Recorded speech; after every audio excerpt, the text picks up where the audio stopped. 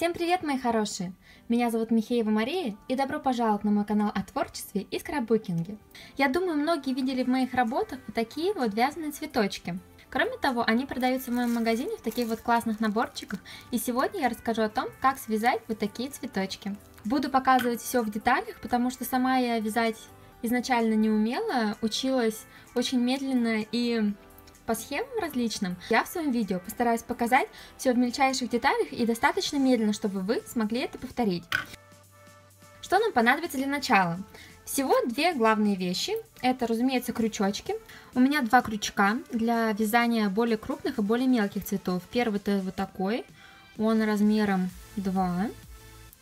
И второй вот такой вот маленький, он размером 0,9.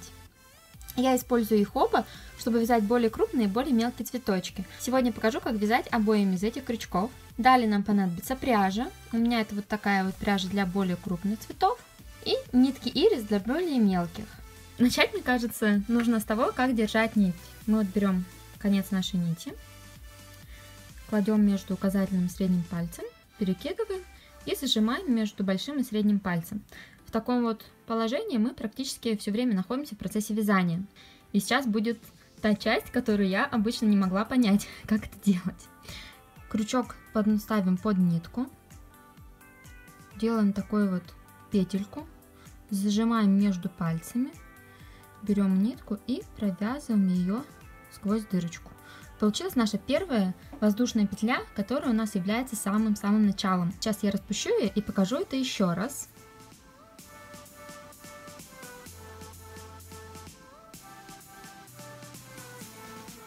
Покажу третий раз. Держим нить, крючок, делаем петельку, зажимаем ее и проводим ниточку. Вот получилась наша первая воздушная петля. Теперь нам нужно провязать еще 4 воздушные петли. Для этого мы просто зацепляем ниточку и проводим ее сквозь петельку. Раз, два,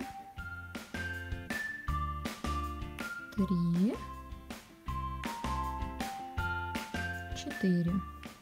Теперь мы возвращаемся к началу нашего вязания и в первую петлю провязываем, провязываем ниточку сквозь две петли и делаем одну петлю подъема. Вот у нас получилось наше начальное колечко. Далее я советую вот эту вот ниточку, которая у нас остается, которая нам понадобится в конце, чтобы завязать цветочек, перенести направо, чтобы он нам не мешался. Начинаем вязать наш первый лепесток. Для этого делаем 2 воздушные петли. Они делаются очень легко и просто. Раз, два. Теперь начинаем вязать столбики. Столбики вяжутся с накидом. Накид это когда мы делаем вот так.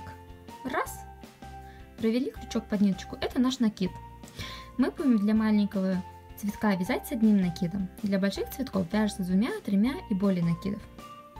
Так, начинаем наш столбик. Раз, сделали накид. И провязывать мы будем в центр нашего цветочка. Вытаскиваем ниточку и провязываем сквозь две петельки раз, еще сквозь две петельки два. Делаем второй также столбик. Раз и два. И теперь делаем еще две воздушные петли. То есть мы делаем все симметрично. Так, немножко подтягиваем. Получается 2 воздушные петли, 2 столбика, снова 2 воздушные петли. Последнюю петлю, когда мы сделали, мы проводим крючок в колечко, достаем ниточку и провязываем 2 ниточки. Так мы получили готовый один лепесточек. Так мы делаем еще 4 раза. Я покажу в медленном темпе. Раз, два, накид, Раз. Ой, не получилось. Когда мне не получается что-то, я развязываю до уровня, где у меня что-то уже есть.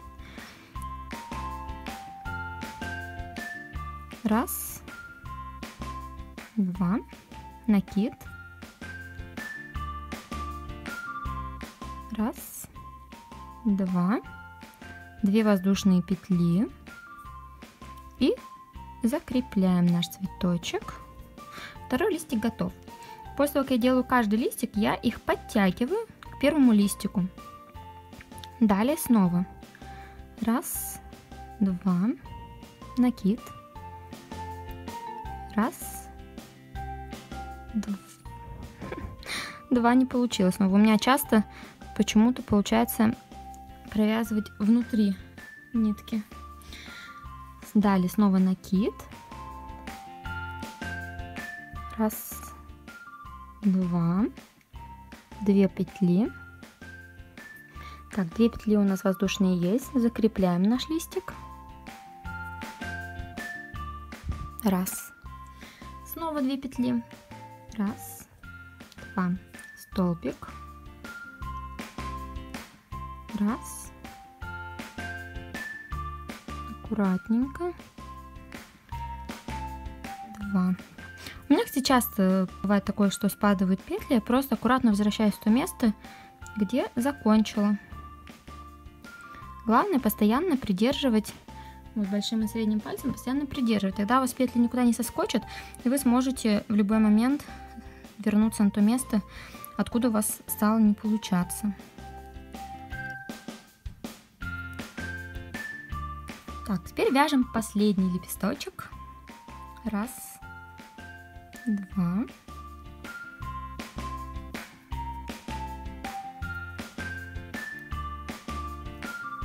Второй накид.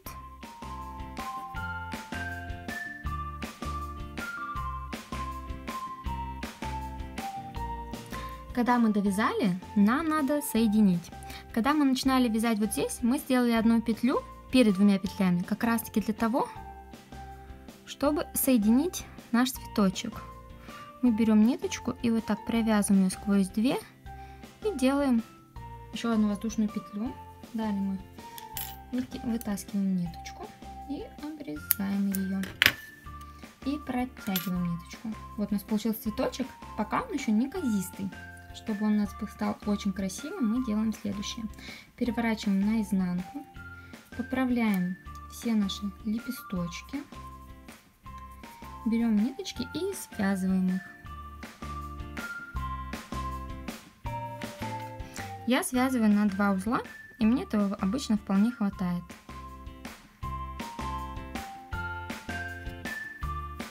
Хорошенько затягиваем обрезаем ниточки. И вот наш малыш цветочек готов. Мне очень нравится использовать такие цветочки вместе с братцами. Брат вставляет серединку и закрепляет.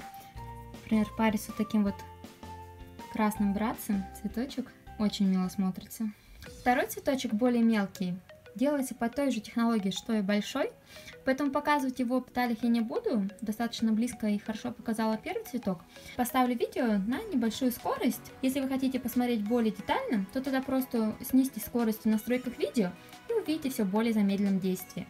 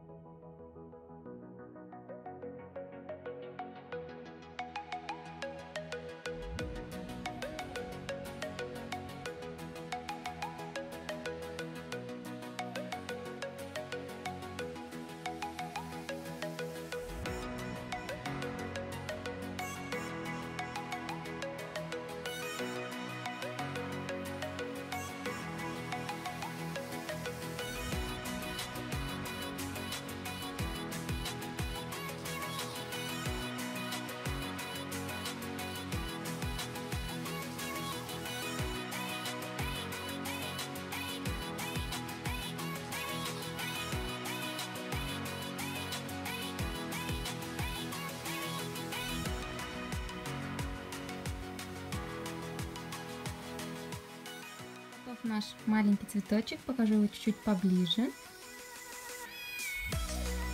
Вот, он в сравнении с большим цветочком. Я цветочки обожаю, часто использую в своих работах, и теперь вы сможете сделать такие же цветочки и использовать их в своих работах. Кроме вот такого дизайна цветка, я разработала еще два вот таких. Такие цветочки и вот такие. Они вяжутся немного другим способом. Если данное видео вам понравилось и вы хотите узнать, как связать вот такие цветочки, то обязательно оставляйте комментарий под видео. Если пойму, что такие видео вам интересны, то эти цветочки также появятся на моем канале. Хочу сказать, что кроме канала на YouTube у нас есть еще инстаграм-канал. Если вы хотите воспользоваться этим мастер-классом, либо воспользоваться какими-то другими мастер-классами, то отмечайте нас на своей фотографии, потому что мне очень интересно смотреть, что же делают мои зрители. В инстаграме нас можно найти по имени Scrap.ru, это имя моего интернет-магазина, ссылку на интернет-магазин в группе ВКонтакте я также оставлю. Спасибо всем большое за внимание, я надеюсь, что данный мастер-класс будет вас очень полезно. Мы увидимся в следующем видео. До новых встреч!